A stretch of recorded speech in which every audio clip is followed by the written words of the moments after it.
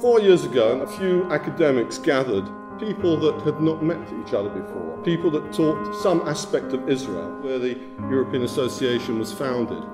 Getting the European Association of Israel Studies up and running, it required dedication, it required hard work, and then actually from the initial stages, it actually required a vision.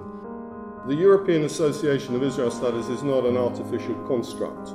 There's a genuine need for Israel studies in Europe and some sort of network. Some 130 delegates, people giving papers or indeed just attending the conference, from over 15 different countries.